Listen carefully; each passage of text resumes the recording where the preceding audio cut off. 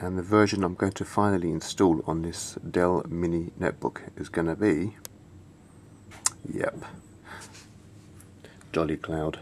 Install Joli OS how could I not?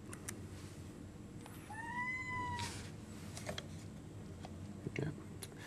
uh, whilst it's installing um, why did I choose uh, Joli OS or Joli Cloud or Joli Cloud OS um, MeeGo's very good I like it very much um, the command line installation of the Wi-Fi drivers doesn't bother me at all.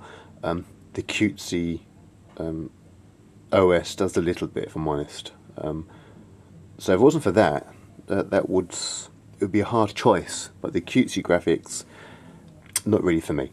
Um, the Ubuntu stuff, um, Netbook Edition and Easy Peasy, both are very very good.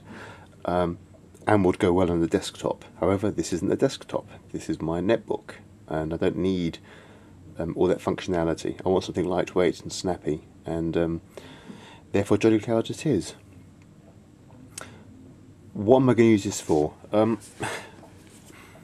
I have a netbook in the living room. I have a variety of computers in my study and uh, around the business. This is, as bizarre as it seems, to go next to my bed.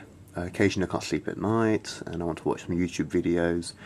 I also have um, quite a few online um, ventures, uh, either uh, electronics or audio or computing stuff, um, the pub stuff, the various Facebook pages and Google accounts I've got to keep updated.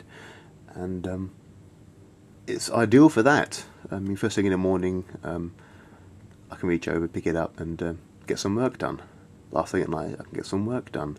Um, I can watch YouTube videos and have a bit of fun. Um, so for something next to the bed, um, a, netbook is ideal. A laptop's too big, don't need it for that. So um, a netbook is ideal for that sort of thing, and uh, Joli Cloud is ideal for a netbook doing that sort of thing. So uh, Joli Cloud it is.